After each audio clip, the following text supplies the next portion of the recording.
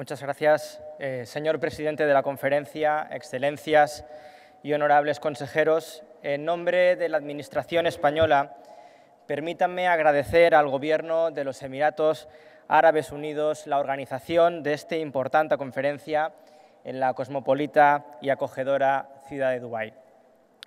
Quiero comenzar mis palabras en esta conferencia de plenipotenciarios de la Unión Internacional de Telecomunicaciones agradeciendo la oportunidad que se brinda al Reino de España de continuar participando plenamente de las actividades y proyectos de la Unión, así como de exponer las motivaciones que nos traen a presentar una candidatura española al Consejo de la organización. Como miembro fundador de la Unión, España ha permanecido consciente de la relevancia de las actividades que entonces nos llevaron a agruparnos como Estados en una organización basada en la cooperación y la asistencia mutua. Esta relevancia, lejos de retroceder, ha seguido creciendo hasta alcanzar una máxima trascendencia en el desarrollo económico y social, con incidencia también en el, en el plano de la política y la seguridad. Compartimos, por tanto, con la Unión una misma visión sobre la importancia de la conectividad y su valor como factor de crecimiento económico y consideramos las políticas basadas en la conectividad como un elemento tractor para el desarrollo asociado a la digitalización de la economía y la sociedad. La transversalidad de la digitalización y la conectividad hacen de esta materia una responsabilidad de primer orden para los gobiernos en el aseguramiento y la garantía de la inclusión digital de la ciudadanía. Por ello, es fundamental combatir las vulnerabilidades, las desigualdades, las brechas y las nuevas formas de pobreza que la digitalización puede conllevar. No podemos dejar a nadie atrás. Los momentos de transición hacia un nuevo paradigma económico y social son instantes de especial vulnerabilidad para aquellos colectivos en situación de desventaja.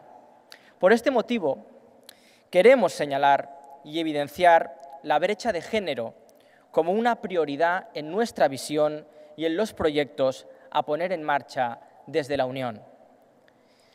España es considerada una referencia en políticas de conectividad por el número y por la calidad de sus experiencias, por la excelencia de la industria que da soporte a las iniciativas basadas en conectividad y por la normativa técnica que aquí se ha conseguido eh, generar. Lo que ha servido de base para la definición de recomendaciones de carácter internacional por parte de organismos internacionales como la propia UIT.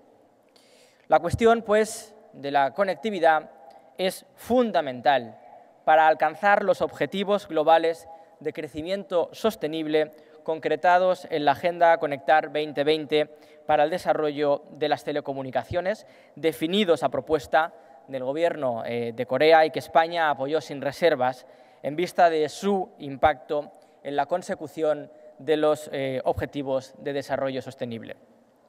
Al respecto, quisiera señalar el cumplimiento por parte de España de los objetivos eh, de penetración establecidos por la Unión, así como los esfuerzos realizados y proyectados en infraestructuras, lo que incluye el despliegue de redes ultrarrápidas.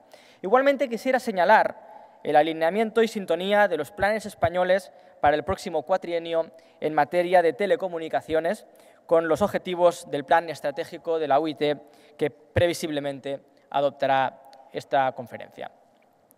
En este sentido, España tiene entre sus objetivos abrirse al talento y a la inversión internacional para el fomento de los servicios digitales a desarrollar a partir de esas infraestructuras. Quiero concluir reiterando el pleno compromiso de España con las actividades de la Unión. Su participación activa en las principales reuniones y conferencias, así como la copresidencia de Unidos por las Ciudades Inteligentes y Sostenibles y la vicepresidencia del Grupo Asesor de Desarrollo de las Telecomunicaciones.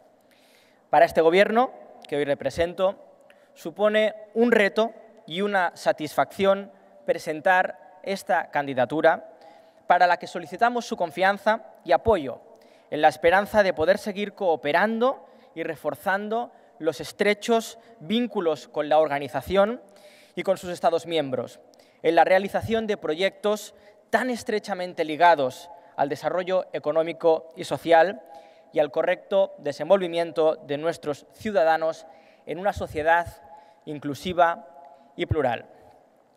Mr. President, on behalf of Spain, we wish you the best of luck in this conference. Shukran, thank you very much. Muchas gracias.